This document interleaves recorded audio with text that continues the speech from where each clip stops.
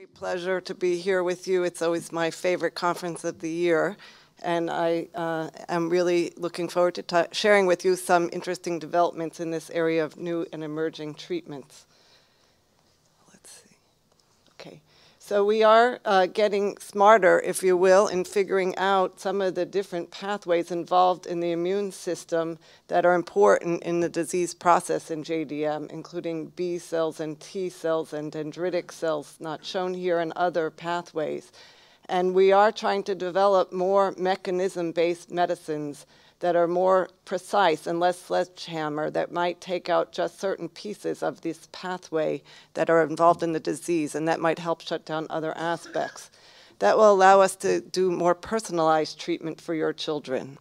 These new treatments are often biologically based, that is, that they, con they contain proteins or DNA or sugars or cells. And we have the potential with this type of approach to have less side effects but really, there are no free rides. Every medicine has some potential side effect. So I'm going to talk about several of these newest treatments that are coming along in the development uh, for myositis and for JDM. The first of them is abatacept, which is CTLA-4 Ig, which prevents the activation of T cells. Turns out on T cells, a cell in the immune system that's very important in the disease, we have signaling molecules that would help activate them. And this, mo this molecule here, CD8086, binds to CD28 that co-activates the T cells. Um, this molecule is expressed on uh, T cells, and um, abatacept, what it does is it binds to the molecule so it won't activate the T cells. Um, and the molecules that might be binding this abatacept are, include B cells and also muscle cells. Um, there have been some reports in refractory patients with JDM and adult myositis who seem to have experienced some benefit with abatacept treatment. And then Ingrid Lundberg in Sweden went on to conduct a study, a trial in adult patients, 20 adult patients with active uh, dermatomyositis and polymyositis, and these were patients resistant to treatment with steroids and other medicines. So she randomized the patients to start abatacept either right away or three months later, and they got IV treatment for six months. And in those patients who started the treatment right away, they seemed to respond more at three months compared to the patients who hadn't yet been started on the treatment at month three. And this is using what Anne Reed talked about, this new response criteria that we developed with IMACS. Uh, Dr. Lundberg was able to use that in the study, and it was a more sensitive measure of outcome. And uh, these patients also, when she looked in their muscles, that she could see that there were more suppressor T cells in the muscles after receiving the abatacept treatment. She didn't find many adverse events or side effect with the medicine. There were some infections like urine, upper respiratory infection, and herpes zoster.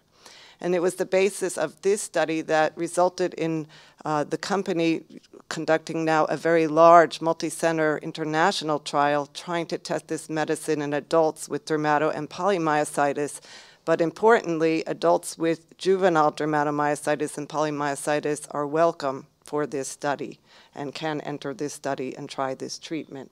And it is a placebo-controlled study, and enrollment is in progress. There is also another study being conducted of abatacept at the George Washington University Myositis Center. Um, this is for patients who are at least seven years of age who have JDM and they have moderately active disease and they haven't been responding to prednisone and one other treatment. Um, and they would receive abatacept. In this study, everybody receives the medicine. It's an open label study. And if you don't respond to the treatment by three months, you're not improving at all, then you could even go up on the dose. And there are different things being done in this study to try to figure out if the medicine is working. Some of those are in the laboratory uh, where the researchers are blinded to the medicine. So uh, patients can be referred to Dr. Rodolfo Curiel, who's the principal investigator. So there is another pathway of treatment that's being worked on as well, and you're going to hear more about that this later this morning as well. Um, we know from Dr. Reed's work uh, that the type 1 interferons are extremely important in the disease process in JDM and other forms of myositis. And type 1 interferon is increased in expression in the muscle and the skin and the peripheral blood. And there's a whole pathway that these interferons are produced uh, through signaling through cytokines and different molecules just inside that activate a whole pathway that causes these molecules to be produced. Um, and so we have a new set of drugs called JAK kinase inhibitors that block the signaling in this type 1 interferon pathway. They shut off the signals right up at the top, and then it doesn't allow the type 1 interferons to be produced. And it even works on other cytokines that are not shown here. So there have been these, uh, some of these drugs have now been approved for adult rheumatoid arthritis. And uh, we have had an increasing number of reports in the literature. These are case reports, uh, now more than 20, primarily of adults with dermatomyositis, but some children with juvenile dermatomyositis who seem to be having remarkable improvements if they take these medicines, particularly for their skin disease, but a few reports about benefit for the muscle and lung disease as well. So we have we are going to hear later this morning Dr. Julie Paik from Johns Hopkins is going to talk about the study she's been leading on tofacitinib for patients with adult dermatomyositis. And Dr. Hannah Kim at the NIH has been leading a study of baricitinib, a related JAK kinase inhibitor in juvenile dermatomyositis patients. This uh, study really resulted from a treatment program that was ongoing at the NIH in patients with monogenic interferon diseases. These are patients who had mutations in the interferon pathway and had very high production of interferon and diseases that look a little bit like JDM, a little different. And they, these this medicine was tried in those patients and seems to be very effective. So Dr. Kim expanded that uh, protocol to then enroll JDM patients. So four patients enrolled into this expanded access treatment program. They were uh, wide-ranging ages and had disease a number of years. And importantly, many of them had been on a number of different medicines for JDM at the time that they enrolled in the study and had pretty active disease. The study is no longer enrolling patients, but Dr. Reed, uh, uh, Dr. Kim then is able to share her early experience with the treatment, and she presented this work at the Global Conference of Myositis in Berlin in the spring. So she's finding that the four patients who received the baricitinib treatment improved in an overall diary score, which consists of muscle weakness, rash, tiredness level, and muscle and joint pain symptoms. Uh, they also significantly improved in these other core set measures that we've come to use to assess myositis and how the treatments are working. So physician global activity improved. The two patients who were weak at baseline markedly improved in their strength at week 12, and they also improved in their skin disease activity. And the patients uh, tolerated this medicine fairly well, and nobody has discontinued the medicine due to an adverse event. And these are very preliminary data, and we will be hearing more from Dr. Kim over time about the longer term experience of this medicine and also the mechanisms of how it may be working on the immune system. Uh, but she's also starting to plan a new study with baricitinib based on these very encouraging results, a new study for patients with JDM. And then there's another treatment coming along called lenabasum.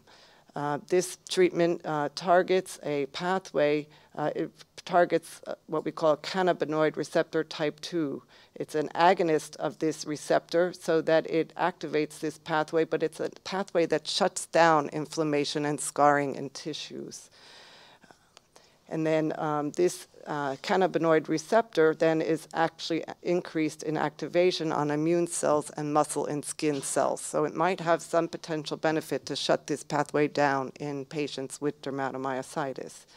A dermatologist at the University of Pennsylvania, Dr. Vicki Werth, who's been studying dermatomyositis for many years, she looked at this drug, lenabasum, in, the, in her laboratory and found that a shutdown of uh, inflammatory cytokines and immune cells, both in the in the tissues and in the blood from patients with dermatomyositis. And then she actually then later treated patients with this drug and also found that the um, immune cells uh, were also shut down with the production of these cytokines and inflammatory cells. So she led then an NIH-funded study uh, looking at 22 patients with skin predominant dermatomyositis. And she gave them uh, one, it was a randomized study. Some patients got placebo or sugar pill, but uh, patients who got the drug received one month of half dose and then two months of full dose before coming off the drug. And then everybody got to go into the long term outcomes portion to receive the drug in the open label phase. So she found that when uh, she did that, that patients who received the drug had a significant response in their skin activity scores called CDASI, uh, certainly by week eight and really out at month four as well. And um, then she went and put everybody on drug later after that one month period off and continued to see improvement in the skin scores all the way out past one year. Uh, patients also improved in other outcomes, like they had decreased itch in their skin, decreased pain, decreased skin symptoms overall, but she also had reports of improved muscle function as well. So this then, uh, as you heard from uh, Jim earlier, uh, Corbus Pharmaceuticals is now conducting a phase three randomized controlled trial of adults with dermatomyositis, but also accepting patients who are over 18 who have juvenile dermatomyositis. They're looking for 150 patients to enroll requiring patients to have moderate disease activity, at least moderate skin activity, and mild muscle activity. And they're going to compare high and low dose of the drug to, to again to the sugar pill or placebo to see how this medicine is working. So we also have a big problem in our uh, patients with juvenile dermatomyositis of calcinosis. Calcinosis occurs in up to 30% of patients still.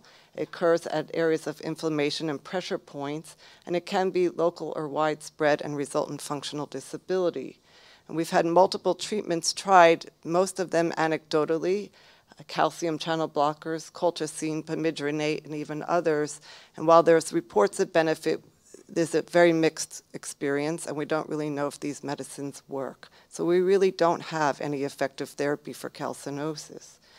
We have had several patients with anecdotal uh, experience uh, reporting improvement uh, after receiving a medicine called sodium thiosulfate. And this is a repurposed drug, if you will. Sodium thiosulfate is currently approved to treat cyanide poisoning. Uh, okay.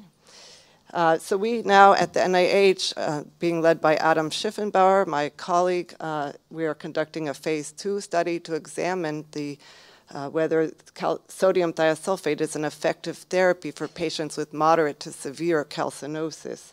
We just opened the study uh, very recently to include children. So now children of at least seven years of age with JDM can enroll, and it's open to patients with juvenile and adult dermatomyositis who have calcinosis in at least two extremities or on their trunk or torso.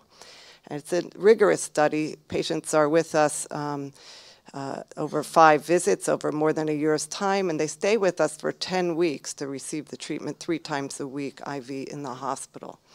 Um, travel and testing in this study are included, as is also true for the abatacept study at GW. So we have a few other treatments I'm not going to be able to talk about in much detail today, but there's another one called tocilizumab, uh, which blocks signaling of um, macrophages, and it really what it does is block IL-6 uh, receptor. This is a treatment already approved for adult rheumatoid arthritis and juvenile rheumatoid arthritis, and it's being studied uh, in a multi-center study, uh, including adults with JDM, but primarily DM and PM in adult patients. And then again, Dr. Paik, I think, is leading a study at Johns Hopkins in adult dermatomyositis. We have another medicine. This is actually the one medicine we have approved for myositis by the FDA, adrenocorticotropin hormone gel, or ACTH gel, um, is being studied uh, for skin disease of dermatomyositis and including adults with JDM with active skin disease and being conducted at the Cleveland Clinic. There are several other uh, studies ongoing in adult patients with dermatomyositis. There's a, a medicine, belimumab, that is blocking signaling in B cells. There are a few medicines blocking activation of the interferon pathway or activation of plasmacytoid dendritic cells, and another medicine that's blocking activation of IL 12, IL 23, another cytokine signaling pathway. and then another medicine probably useful for skin disease, potentially useful, uh, that's blocking an enzyme, PDE4. Um, so we have then, in summary, a number of targeted therapies focusing on biologic mechanisms that are up and coming and uh, will be under study, trying to target the immune system more specifically for the treatment of JDM. Uh, these include abatacept, interferon pathway blockade through JAK kinase inhibitors, and lenabasum. And they're showing promise in early studies, and we need more studies, and they are ongoing, particularly for adults with JDM and some for JDM patients that are children.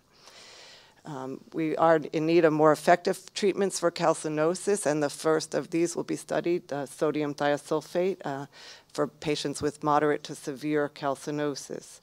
And these and other drug therapies, I think, show um, that we hope they have a high likelihood of success, higher likelihood of success, and a higher likelihood of fewer side effects. I want to say that that's not the end of the story, that there are more things coming on the horizon if we take a broader view on things. And I think uh, I was recently inspired by several reports that I wanted to share with you uh, about treatments that are being used in other conditions that maybe someday, if we really look into the far future, that we might have potential to use these in patients with JDM or other rheumatic diseases. As you've been hearing, there's been quite a revolution in cancer treatment, uh, targeting the immune system to try to shut off these cancers. And there's one treatment called CAR T cells, chimeric antigen receptor T cells, where you take T cells from patients, genetically modify them, and reinfuse them into patients to knock out the cancer. Uh, this is a treatment that's come a long way for treatment of acute lymphocytic leukemia in children, for example. And I saw a study in Science recently in lupus mice that used this approach to knock out B cells uh, and knock them out for a very prolonged period of time and cause these mice to have a sustained remission from their lupus with very encouraging results. Another treatment came out last week in New England Journal of Medicine called teplizumab, teplizumab which is an anti-CD3 monoclonal antibody hitting T cells. What they did, is they took patients who were at high risk for type 1 diabetes. They knew they were at high risk because they had a very strong family history of type 1 diabetes and they had several different autoantibodies present and they gave them this monoclonal antibody or sugar pill. And they found that patients who took the monoclonal antibody treatment delayed the onset of their type 1 diabetes by two years. And this was the first successful preventive immunotherapy for patients with autoimmune disease. And I think if we can identify genetic and environmental risk factors for these diseases and give at risk patients treatments before they ever get sick, we have this on our horizon in the future.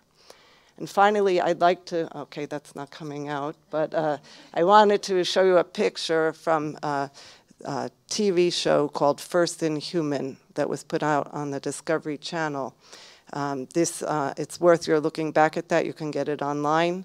Uh, is the story of NIH and how physician researchers have partnered with patients to try new medicines for the first time in human beings and what an adventure that is. Uh, really, in the end, it's the story of the bravery, courage, and sacrifice of the patients to try medicines that we really don't know how well they work or what their side effects are.